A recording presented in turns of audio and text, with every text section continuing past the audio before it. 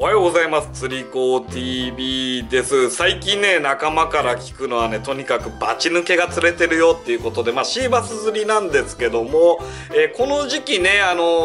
ー特有の大潮の、あとはいろんなコンディションが重なった時に、えーバチ抜けっていう現象が起こりまして、まあ、そこでね、ひょろひょろひょろって泳ぐルアーを準備しておくと、えーおかっぱりとかからね、バチコーンとね、えーいいサイズのこうシーバスが釣れるよっていうね、こういう釣りがあるんですけども、そこに向けてね、あの、毎年この時期にね、え使うボックスっていうのがあって、これなんですけども、え引っ張り出してきました。普段ね、バチ抜けの釣りの時にどんなルアーを持っていくかっていうのね、そういうの見ていこうかなと思いまして、まあ、こんな感じでね、いろいろ入ってるんですけども、まずもってね、一番ね、信頼しているのはね、これかなっていうのがね、はい、ジャクソンのニョロニョロ、ね、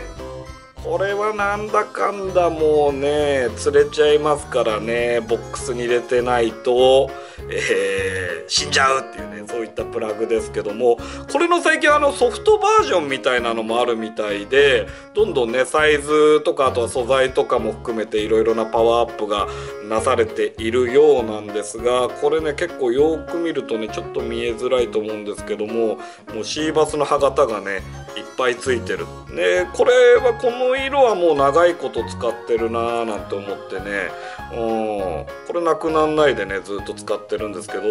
こんなシンプルなね形シーバスがどんどん食いついちゃうっていうことでやっぱり面白いジャンルだなということで、えーそれとですねこれはですねやる気スティックっていうね面白い名前のルアーなんですけどもやる気スティック邪道っていうことでこう頭に邪道って入ってるんですけどね。これはねあのシンキングなんですよね。でちょっと沈めて下からこうふわーって浮上させていく時に、えー食わせるのが得意な感じっていうことで、えーまあねバコンバコンね表層で食いついてる時はこの表層を攻めるようなですねニョロニョロとかで使うんですけどもあれ絶対バチ流れてるはずなんだけどななんか釣れないななんていう時にこのね、えーやる気スティックを登場させるんですよね。で、えー気持ち重いです、うん、なんでよく飛んでシンプルな形状なんで。でこのね浮上していく独特な形でこう下からスーって上がっていくよっていうアクションで食わせるね。そんな時にねこれを使います。はい。やる気スティックはねこんな感じでね、え2つボックスに入れております。でその針とかねいろいろこう試してみたりとかあとトリプルフックにした仕様のまあ杭がねいまいち悪い時にトリプルフック入れてみたり普段はこのシングルフックで使ったりっていうここら辺の針のセッティングの違いでまあちょっと使い分けたりしております。でもってこれアイマのルアーですね、えーカルマ80でよかったかな。これもね、あ結構もう昔からあるルアーに今はなってきたんですけどもまあここら辺と一緒ですね。あのね、ニョロニョロ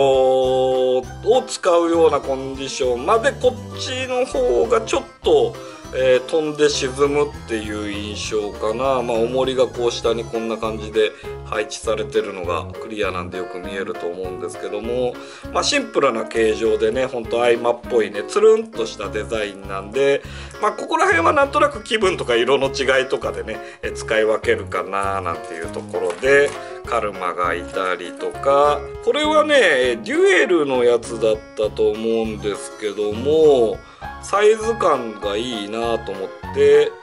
でやっぱり中にはこう重りがみっちり入っていてよく飛んでってこれはねここにこんな こんなバチがいます。ね、カラーリングなんですけども、えーここにこうやってバチがいるんであこれいいなと思ってね釣り具屋さんでね、え見かけたら買ったんですけどもまあサイズ感がね、えー比較的小ぶりなんで小さなバチがねちょろちょろちょろちょろしてる時にちょろちょろちょろちょろ動かしてパコンって食わせる時なんかに使っております。でこれはねえー、っとねこれジャクソンのだったと思うんですけども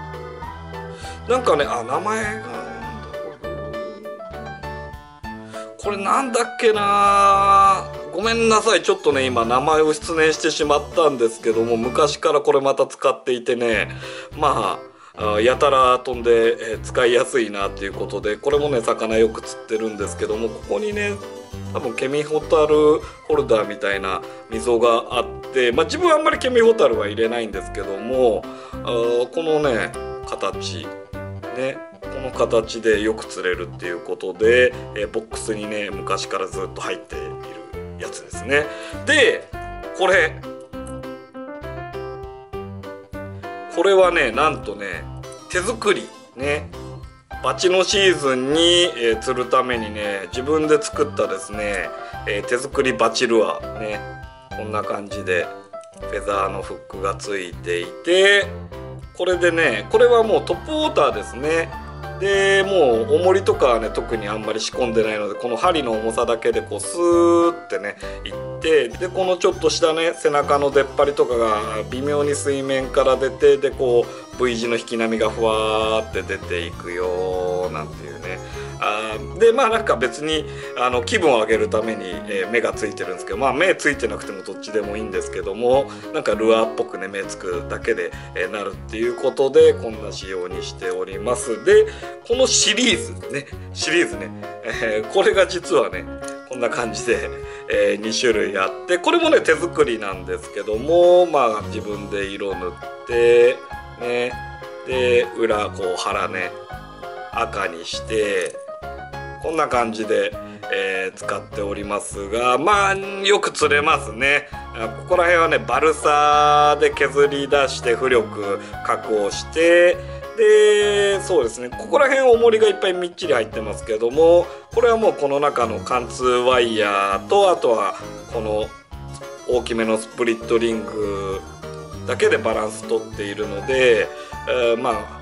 ペチャコーンっていってやっぱりこのちょっとした背中の突起が V 字の波紋を出してでシーバスその V 字の波紋の頂点をめがけてね食いついてくるっていう印象があるのでそこら辺の波紋が出しやすいように、えー、非常に浮力を確保してですねそんでもって、えー、釣る。ただね重りが入ってないんでそんな飛ばないんで足元とかね比較的届く、えー、近距離近距離線で、えー、ボイルが多発してるななんていう時はこの手作りルアーのね、えー、ウッドルアー。ねバルサルアを使っております。というわけで、えここら辺も車に積んじゃうとなかなか家に持ってこないので、まあ、こんな感じでね、えバチのシーズンは、え細長いルアーね、えこれを、え使って楽しんでおります。でバチの釣りなんですけどねだいたいこう大潮の満潮に向けてねこう潮がどんどん高くなっていく。その高くなっていった、えー、頂点の手前ぐらいでこうバーって発生して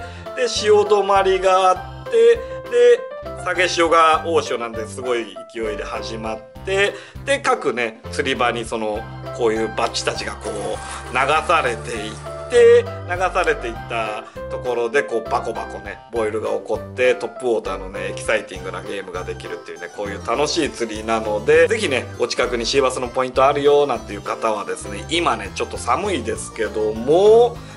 当たり外れあるんですよね。これがあの、徐々に暖かくなってくると定期的に、えー、狙って釣れるようになるんですけどまだねあの2月3月中は怒る時は怒るけど怒んない時は怒んないなんていうタイミングもあるのでそこら辺はねもう釣り場に通ってね、えー、いろいろ見ていくしかないんじゃないかなっていうことでまあここら辺でね改めてまあ針は大体大丈夫そうだななんて思ったので。でバチ抜けルアー全部ね小型で、えー、細長いのでこういうねちょっとしたちっちゃなボックスにね、えー、ごちゃーってね入れたらねこれで準備終わりなんで、え、楽ちんでいいんじゃないかなということでというわけで本日の釣り子 TV は、えこちらえバチ抜け始まってるよっていうことで、え、いろいろとバチ抜けのルアーを、え引っ張り出してきてみました。はい釣り子 TV でした。